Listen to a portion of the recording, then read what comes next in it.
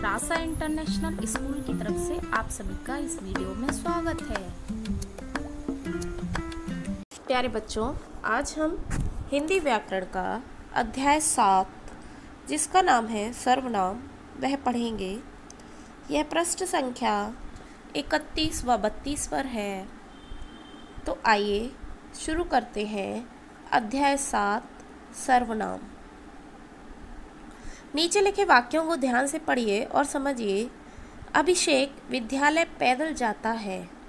अभिषेक का विद्यालय अभिषेक के घर के पास ही है। अभिषेक समय पर विद्यालय पहुँचता है। विद्यालय से वापस आकर अभिषेक घर का काम भी करता है। घर में अभिषेक को भी सभी प्यार से बुलाते हैं। इन वाक्यों में अभिषेक शब्द का बार बार प्रयोग हुआ है।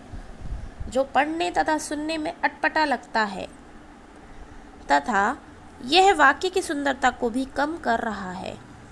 यदि इन वाक्यों को निम्न प्रकार से लिखा जाए तो ये वाक्य सुंदर लगते हैं। अभिषेक विद्यालय पैदल जाता है। उसका विद्यालय उसके घर के पास ही है। वह समय पर स्कूल पहुँचता है। विद्यालय से वापस आकर वह घर का काम भी करता है। घर में उसे सभी प्यार से बुलाते हैं। पहले वाक्य में कर्ता अभिषेक संज्ञा शब्द है। अन्य वाक्यों में अभिषेक संज्ञा के स्थान पर उसका, उसके, वह, उन्हें का प्रयोग किया गया है। अतः यह सभी सर्वनाम है। पहले वाक्य में जो हम पढ़ रहे थे, पहली पंक्तियों में पढ़ रहे थे, जिनमें जो करता है अभिषेक, वह संज्ञा शब्द है।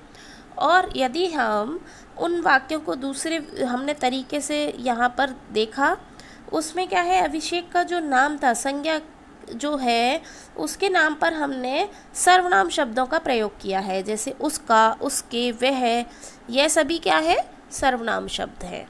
आइए एक बार इसकी परिभाषा देखते हैं, सर्वनाम क्या होता है। जो शब्द संज्ञा के स्थान पर प्रयुक्त किए जाते हैं, उन्हें सर्वनाम कहते हैं। जो शब्द संज्ञा के स्थान पर प्रयोग होते हैं, उन्हें सर्वनाम कहते हैं। संज्ञा के स्थान पर यानी जहाँ पर संज्ञा शब्द प्रयोग हो रहे हैं, उसके स्थान पर यदि कोई शब्द प्रयोग होते हैं तो वह सर्वनाम कहलाते हैं। अन्य सर्वनाम शब्द, वह, वे, तू, तुम, मैं, हम, आप, उस, कोई, कौन, जो, सो, यह सभी क्या हैं?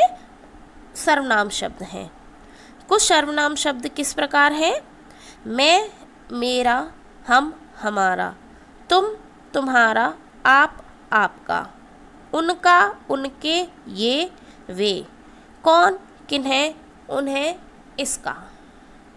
सर्वनाम का प्रयोग कैसे करते हैं? आओ बच्चों, देखो सर्वनाम का प्रयोग किन किन स्थितियों में किया जाता है। अपने लिए क्या प्रयोग किया जाता है? मैं विद्यालय जाता हूँ, यह अपने लिए प्रयोग किया जाता है, मैं, हम, यह क्या है, अपने लिए प्रयोग किया जाता है। हम हम खाना खाते हैं, यह किसके लिए प्रयोग किया गया है? अपने लिए प्रयोग किया गया है, जैसे मैं विद्यालय जाता हूँ, मैं, हम खाना खाते हैं। सुनने वाले के लिए, सुनने वाले के लिए कैसे प्रयोग किया जाता है?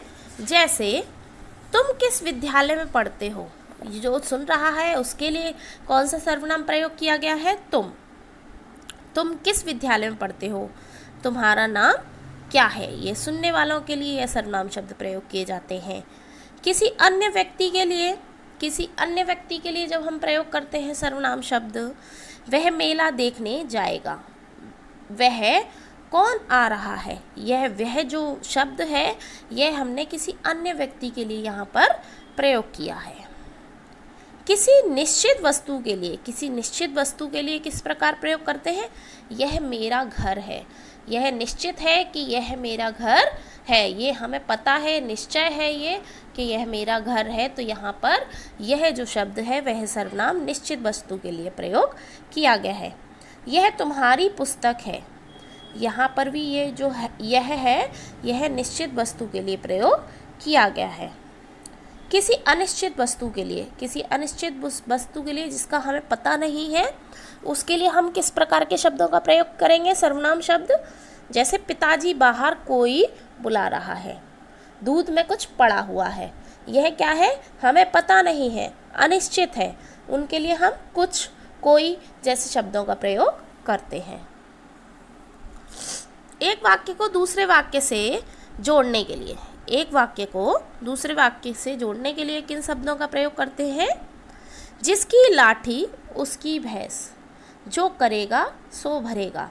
इसमें क्या है? हमने दो वाक्यों को जोड़ने के लिए कुछ सर्वनाम शब्द प्रयोग किए गए हैं। प्रश्न पूछने के लिए सर्वनाम शब्द का प्रयोग कर लेते हैं हम।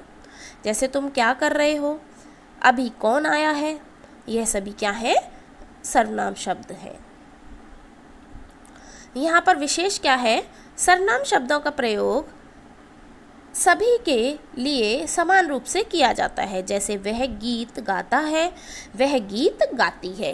यहाँ पर हम जब कर्ता के साथ सर्वनाम शब्द का प्रयोग करते हैं तो वह एक ही रूप में प्रयोग किया जाता है या कह सकते हैं हम समान रूप में प्रयोग किया जाता है। उपयुक्त वाक्यों में वह सर्वनाम शब्द एक समान है, परंतु वाक्य की क्रिया से उसके लिंग का पता चलता है। पहले वाक्य में वह सर्वनाम शब्द पुल्लिंग है, तथा दूसरे में वह सर्वनाम शब्द स्त्रीलिंग है। यह किससे पता चल रहा है? क्रिया से उसके लिंग का पता चल रहा है। क्या क्रिया हो रही है, उससे उसके लिंग का पता चल रहा है कि वह स्त्रीलिंग है या पुरलिंग है।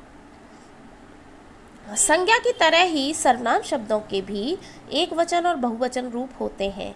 जैसे, अपने से बड़ों के लिए सदा आप शब्द का प्रयोग किया जाता है। इसमें एक वचन और बहुवचन का भी प्रयोग किया जाता है। सर्वनाम शब्द एक वचन और बहुवचन के रूप में भी होते हैं। आइए यहाँ पर एक वचन सर्वनाम शब्द के बहुवचन देखते हैं। मैं का बहुवचन होगा हम, वह का बहुवचन वे, इसे का बहुवचन इन है।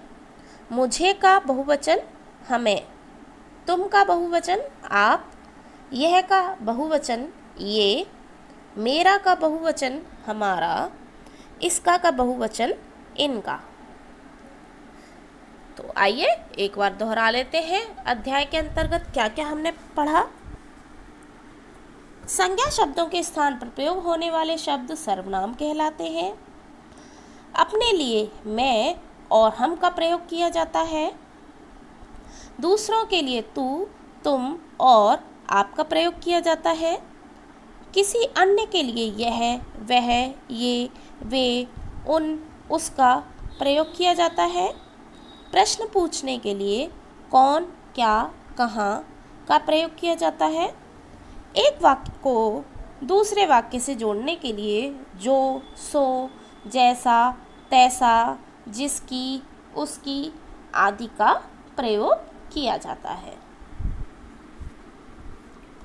तो आज हमने क्या पढ़ा? आज हमने अध्याय सात, सर्वनाम पढ़ा। तो अब हम नेक्स्ट वीडियो में नेक्स्ट टॉपिक कवर करेंगे। तब तक आप इसका अभ्यास कीजिए। धन्यवाद।